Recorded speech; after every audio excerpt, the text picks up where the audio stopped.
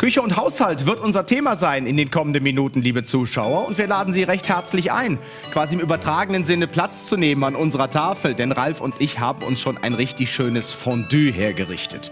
Und ich denke, dass wahrscheinlich auch bei Ihnen schon seit einigen Tagen die ja, Findungsphase begonnen hat. Was wird eigentlich angerichtet?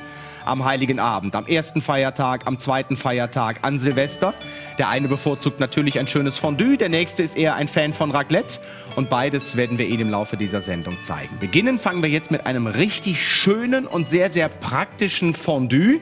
Für mich ja ein Klassiker für den Heiligen Abend und das schon seit über 20 Jahren bei uns zu Hause. Ja, auf jeden Fall. Aus? Und ich finde Fondue wirklich schön, weil man sich Zeit nehmen kann zum Essen. Ja. Man kann das wirklich zelebrieren. Nicht einfach einen Gang hin, fertig essen, Teller leer, sondern hier kann man stundenlang gemeinsam gemeinsam sitzen und kann wirklich das Essen genießen. Und immer mal, wenn man mal wieder ein bisschen Hunger hat, wieder ein bisschen nachlegen. Und ja. ich finde, also das hier besonders schön. Und was mir hier gefällt, ist dieser Drehteller zum Beispiel. Ja. Ich kann komme also ohne Probleme an alle Soßen, muss ich immer sagen, oh, gib mir mal die helle, gib mir mal die Mayo, gib mir mal die äh, ähm, Knoblauchsoße oder ja. was auch immer. Das ist sehr, sehr schön gelöst hier. Das finde ich absolut fantastisch, denn ehrlich gesagt ist das bei uns immer so ein bisschen Hektik. Das Fondue-Essen an sich, da gebe ich dir vollkommen recht, ist immer mhm. eine relativ äh, angenehme Geschichte. Das zieht sich auch gerne bei uns mal über zwei, drei Stunden über so einen Abend.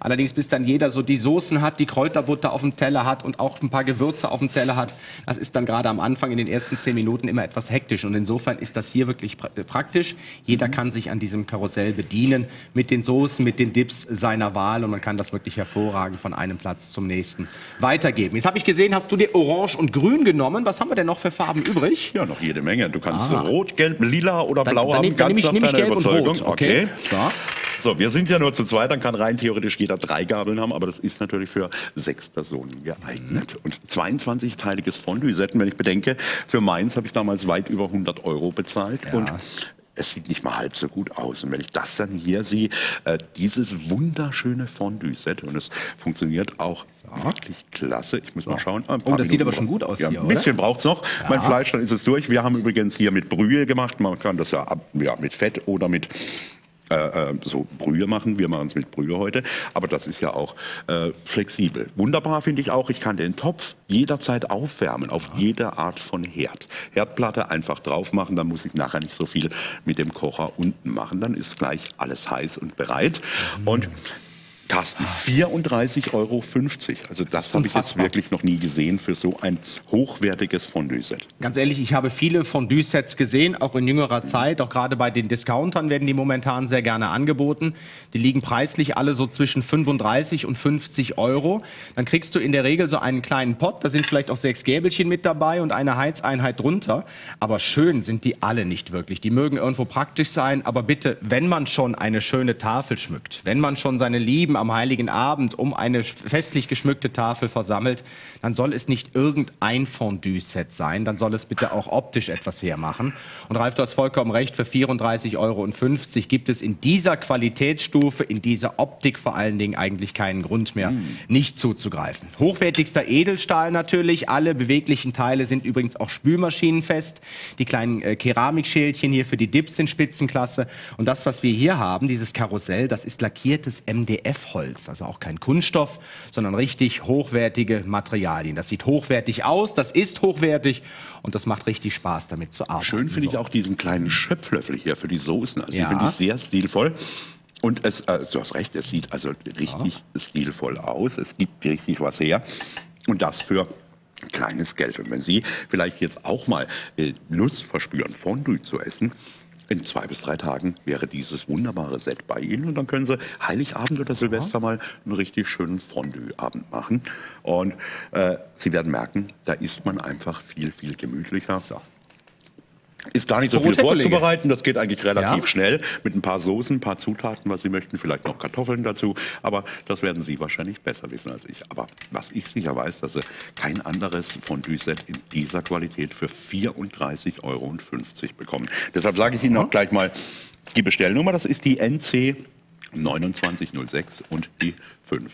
6,9. Und wie gesagt, den Topf können Sie jederzeit vorheizen, auf Induktions-, auf Elektro-, auf Ceranfeld, egal wo. Passt überall, Gaskocher natürlich auch. Und dann hier draufstellen und schon kann die große Esserei losgehen. Apropos so. Esserei, Ich möchte ich doch mal wissen, was ist das denn abenteuerliches hier? Wie kriege ich denn hier Salz raus? Lass mal mal gucken. So. Ah, hier oben drehen einfach. Ne, ich muss drehen hier nur mit diesen Salzstreuern immer so eine Sache für sich. Und jetzt wollen wir doch mal gucken, wie das Ganze hier schmeckt. Ich habe mir schon ein paar Soßen auf den Teller getan. Das ist ja manchmal beim Fondue wie Puppenküche, oder? Mhm. Alles immer so klein portioniert. Ich liebe das hier, ehrlich gesagt. Und normalerweise ist es doch immer so, dass die, die Gastgeberin, sprich die Dame des Hauses, gerade wenn es um einen Braten oder sowas geht, dann auch gerne mal drei, vier Stunden in der Küche steht. Dann muss es schnell gehen, damit es auch ja warm gegessen wird. Und in einer Viertelstunde ist der ganze Zauber dann auch fast schon wieder vorbei. Dafür haben sie mehr oder weniger drei oder vier Stunden in der Küche gestanden. Hier sitzen alle schön gemeinsam am Tisch. Hier können alle ihren Gesprächen nachgehen. Hier kann jeder sich genau das nehmen, was er gerne isst. Und das kann eben auch gerne mal über den ganzen Abend verteilt zu sein. Es ist übrigens häufiger schon vorgekommen, dass wir dann später auch mal nach der Bescherung oder was dann am späten Abend noch Hunger hatten und haben den Topf einfach nochmal angeschmissen und noch ein paar Reste gegessen. Auch das hat zum Teil besser geschmeckt als am Anfang. Es ist einfach diese Gemütlichkeit beim Essen. Da ist kein so Hektik, man muss nicht alles mhm. auf einmal essen, sondern man kann sich Zeit nehmen, sich nebenher unterhalten ja, vielleicht machen die Kinder noch ein paar Gedichte oder ähnliches, die Bescherung zwischen reinschieben, klar. Und später ja. kann man vielleicht noch ein bisschen weiter mm. essen. Dazu ein schönes Gläschen Wein zum Wohl. Ja, sehr zum Wohle. Moment, Moment, so. Also ich finde, so sieht ein perfekter Abend mhm. aus. Mhm. Und es muss ja nicht der Heiligabend oder Silvester sein. Das kann man ruhig mal auch unterm Jahr machen, jederzeit. Und, oh, und die Uhrzeit schon Wein. Na, ich weiß nicht, ob das richtig ist, aber ja, bei ihrem Essen mit Sicherheit. Und so kann man sich einen so. gemütlichen, schönen mit Abend mhm. mit zwei Personen mit drei, vier, fünf, sechs, wie Sie wollen, bis zu sechs Personen reicht dieses Fondue-Set machen und hat dann wirklich einen wunderschönen Abend. Und wie gesagt, ja. dieses Fondue-Set für ganz, ganz wenig Geld. 34 Euro und 50 Cent. Heute unser Pearl TV Sonderpreis. Und die. Bestellnummer NC 2906 und die 569. Mhm. Das schmeckt hervorragend. Genau so muss ein Fondue schmecken. Genau so muss ein Fondue aussehen. Damit punkten Sie natürlich ganz klar am Heiligen Abend, vielleicht auch am ersten Feiertag, am zweiten Feiertag, am Silvesterabend, an einem Geburtstag im nächsten Jahr oder auch einfach mal mit der Familie gemeinsam abends am Tisch sitzen und mal ein schönes Fondue machen. Das ist eine ganz, ganz tolle Geschichte, ist ein Klassiker und für 34,50 Euro für ein Fondue-Set in dieser Qualitätsanforderung ähm, äh, für sechs Personen glaube ich, da kann man eigentlich nicht mehr Nein sagen. Jetzt brauchen Sie noch die Bestellnummer, das ist die NC 2906 und die 569. Und das, was wir Ihnen jetzt noch zeigen möchten, liebe Zuschauer, das nennt man schlichtweg Zubehör. Denn unser Richaud hier, unser, unser Fondue-Topf, wird natürlich auch entsprechend warm gehalten, wird entsprechend heiß gehalten mittels einer Brennpaste. Die kriegen Sie natürlich auch im Einzelhandel, da kostet sie in der Regel fast das Doppelte. Hier haben wir ein schönes Dreier-Set für Sie für gerade mal 4,66 Euro. Jeweils 100 Milliliter. Unsere Brennpaste brennt extrem lange, haben wir selber schon ausprobiert und ist zu haben im Dreier-Set mit der NC 2989 und der 569. Kannst du dich noch an die Geschichten mit Spiritus von früher erinnern, Ralf? Oh ja, Brennspiritus. Und Oha. dann gab es auch mal ganz böse Unfälle. Und das passiert halt bei dieser Brennpaste auf gar keinen Fall. Sicherheit sollte ja auch vorne stehen. Und dann einfach einen Deckel drauf aufs Fondue, dann ist sie wieder außen, beim nächsten Mal wieder anzünden. Das ist also alles ganz, ganz sicher. Für 4,66 Euro, drei Stück. Ja, Sie wissen, wie oft Sie vorhaben, bestellen Sie doch lieber noch ein zweites Set dazu. Ja. So, und dann gibt es welche, die stehen nicht nur auf Fondue, sondern manchmal auch auf Raclette. Also ich mag beides. Ich weiß nicht, wie mhm. sieht es bei dir aus? Das gibt sich bei uns zu Hause die Waage, um ehrlich zu sein. Normalerweise so an Feiertagen, an ganz besonderen Gelegenheiten, wenn die ganze Familie, wenn auch mal zehn Leute am Tisch sitzen, ist das Fondue bei uns angesagt. Wir machen aber auch ehrlich gesagt ganz gerne mal in Jogginghose und Sweatshirt am Wohnzimmertisch, am Sofatisch, ein schönes Raclette und machen uns dabei einfach mal entspannten Film an. Das hier habe ich allerdings so in dieser Form noch nie gesehen. Das passt sich ja nun wirklich den Begebenheiten zu Hause an. Egal, ob du einen eckigen Tisch hast, einen runden oder eine lange Tafel, das Raclette kannst du jederzeit auf deine Bedürfnisse zuschneiden. Ja, und vor allem, ich kann es ja ausklappen. Jetzt haben wir hier so eine Doppelbank im Prinzip und das kann ich aber länglich machen. Dann habe ich also wunderbar Platz über den ganzen Tisch für mein Raclette. Mhm. Dann zwei verschiedene Grills, einmal diesen Rillengrill und dann haben wir noch den heißen Stein. Das passt also auch wunderbar. Da kann ich gut mal einen Schnitzel oder ein Steak oben drauflegen und unten habe ich natürlich auch diese schönen Raclette-Pfännchen. Und du richtest schon. Aber natürlich. Ich werde mir das auch gleich machen. Einfach so. ein bisschen Raclette. Und äh, Sie wissen wahrscheinlich am besten, wie Sie Ihr Raclette mögen. Aber hier haben wir wirklich alles, was wir wollen. Ich kann es zu zweit benutzen. Dann schalte ich einfach nur eine Platte ein. Oder bis zu acht Personen. Dann kann ich es aufklappen, dann habe ich eine längere, doppelt so lange, äh, einen doppelt so langen Raclette-Grill und dann kann ich es mir auch zu acht ganz gemütlich machen. Würdest du mir auch einrichten? Ich mache dir auch eins, mein erstes tue ich mir hier schon mal mit runter. Das ist ja für bis zu acht Personen hier mhm. und das Schöne ist, diese Schaber, diese Holzschaber hier, ich gebe dir deinen mal wieder, Dankeschön. Ähm, sind natürlich auch schon mit dabei und ich finde das einfach spitzenklasse. Da kann wirklich jeder genau das reinmachen, was er haben möchte. Was darf ich dir denn in dein Pfännchen tun, Ralf? Guck mal, wir haben da auch ähm, noch, da ist noch Speck, da sind noch ja, Zwiebeln, Mais mal, haben wir hier. Kreu ja. So, Sekunde. Mach mal kreuz ja. und quer. Also ein bisschen Speck möchtest du haben, sehr gerne. So, dann tun wir noch etwas Mais dazu. Mais ist für mich einer der, der, der Grundbestandteile bei jedem Raclette. So, zwei, drei Paprika, einverstanden? Ja, gerne, gerne, ja. gerne. Und jetzt noch eine Scheibe Käse drüber, dann reicht mir das erstmal. So. Weil ja. der Tag ist ja noch lang. Wer weiß, nachher, wenn die Kamera wieder aus ist, werden wir wahrscheinlich noch ein bisschen länger sitzen bleiben. So. Weil Raclette macht mir richtig Spaß. Du darfst mir das so. geben. Und dann mal da vorne rein, dann können unsere Zuschauer mitschauen, rein, wie der genau. Käse so schön in sich zerläuft. Das ist natürlich Spitzenklasse. Ist Ihnen auch oben die obere Gestaltung des Raclette-Grills aufgefallen? Ähm, wir haben einen Raclette-Grill zu Hause, der hat also nur eine antihaftbeschichtete äh, Oberfläche hier. Vielleicht legen wir da auch einfach mal zwei, drei Stücke Fleisch drauf. Da drüben haben wir Schnitzel. Leg doch mal ein Schnitzel drauf. Na ja, zwei, drei Oder kleine so, ja, wir können auch ein bisschen ja? Geschnetzeltes machen, genau. Ja. ja. Wer hat die Stücken denn eigentlich so klein geschnitten? Ist doch immer wieder eine Diskussion, oder? Für den, für den einen sind die Stücken zu klein geschnitten, für den anderen sind sie zu groß geschnitten. Und dann Striche sehen, wenn sie zu klein sind, nimmst du einfach zwei Stück davon. Und ein Kotelett möchtest du auch noch haben. Gerne, legen wir es auch einfach mal mit drauf. So, das Brot schüttet jetzt so richtig schön vor sich hin. Ich mag das deswegen so gerne portioniert, weil du das ähnlich wie bei einem Fondue dann eben auch sehr schön portioniert dann auf dem Teller hast und so mhm. weiter. Und das geht eben nicht so schnell. Natürlich kannst du ein ganzes Kotelett, ein ganzes Steak von mir aus auch auf den heißen Stein hier zum Beispiel legen. Aber so klein portioniert, ich mag das wie so ein bisschen Puppenküche. Das ist so ein bisschen Spielerei. Was ich schön finde an diesen Saftrillen ist, das gibt ja auch das Muster auf dem Fleisch, wenn es dann angebraten richtig. ist. Das sieht richtig schön aus. Mal schauen, ob man schon sieht, was ich meine. Ja. Jawohl. Ah, guck mal, da, ja, das geht schon Da sieht man schon. Und mm. es geht auch ruckzuck, egal ob ich es auf dem heißen Stein oder auf diesem Rillengrill ja. mache. Und es macht einfach Spaß, Raclette zu machen. Und auch da kann man sich natürlich viel Zeit nehmen und den ganzen Abend genießen. Ja. So, was wir natürlich jetzt auch noch zeigen wollen, ist der heiße Stein. Dafür darf ich unsere unsere Kollegin, die Sabine, mal bitten, mir mal eben das Öl zu reichen. Ich danke dir vielmals. Denn den heißen Stein sollte man vorher ein bisschen mit ganz normalem Haushaltsöl mhm. etwas, etwas einfetten hier, damit das Fleisch dann auch nicht, auch, nicht, auch nicht kleben bleibt. Das reicht mir eigentlich auch schon fast hier. Und dann kann es auch schon richtig losgehen. Ein richtig tolles Raclette, was wir hier haben. Was ist das denn eigentlich hier für eine abenteuerliche Konstruktion? Ja, das ist zum Aufklappen und dann, ich zeige es Ihnen jetzt mal andeutungsweise, meine Damen und Herren. So, hier können wir jetzt in jedem Winkel diesen Grill verändern. Das Bis er ja entweder in 180 Grad, also kerzengerade steht, 90 Grad, wenn ich so ein äh, über Eck will. All das ist möglich. Einfach die Arretierung, die wir hier hatten, raus. Und jetzt können wir machen wir mal noch ein Stück. Sie sehen es. Ja. Und so kann ich jede flexible, äh, äh, jeden flexiblen Winkel einstellen, bis es ganz gerade ist und dann über die ganze Tafel Stark. geht. Ich mache es jetzt einfach mal wieder zusammen. Und da ja. sehen wir das wunderbar, wie es Da haben wir es hier übrigens gerade mal im, im Bild für Sie, wie das auch auf einer etwas längeren Tafel hervorragend aussehen kann. Es ist ja häufig auch so, dass auch äh, ganz gerne mal die ganze Familie, vielleicht auch noch Freunde oder Bekannte mit am Tisch sitzen. Das können dann auch gerne 10, 12 oder 15 Personen werden oder noch mehr.